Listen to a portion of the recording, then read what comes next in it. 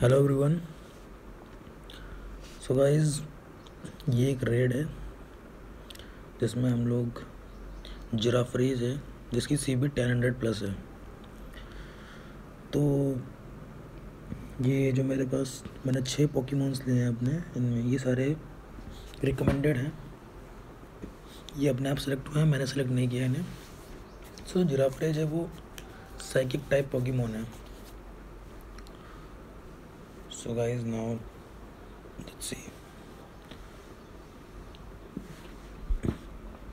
मैंने हुडूम लिया ये। इसका जो, इसके जो अटैक्स हैं, वो इस पर सुपर इफ़ेक्टिव हैं।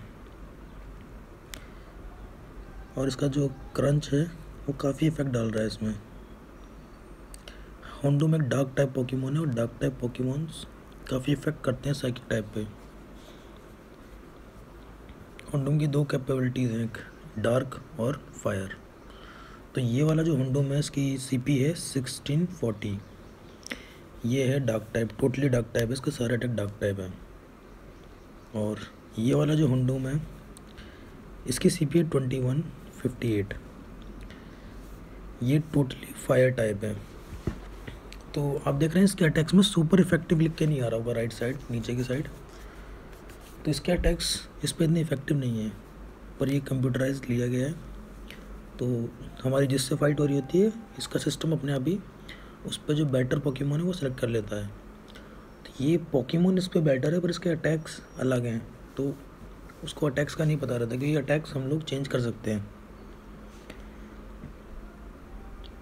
तो मैंने उसको ख़त्म होने से पहले चेंज कर दिया। उसके बाद rock type ground type Pokemon भी इन पर काफ़ी इफ़ेक्टिव रहते हैं। पर इसमें भी सुपर इफ़ेक्टिव लिख के नहीं आ रहा है।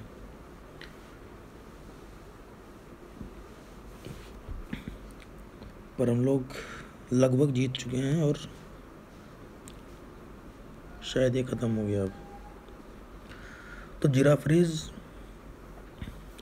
इस बैटल में हार चुका है और हम अब हम इसे पकड़ेंगे। और हमें तीन हज़ार थर्टी फाइव हंड्रेड एक्सपी मिली है। और फोर्टीन बॉल्स मिली हैं।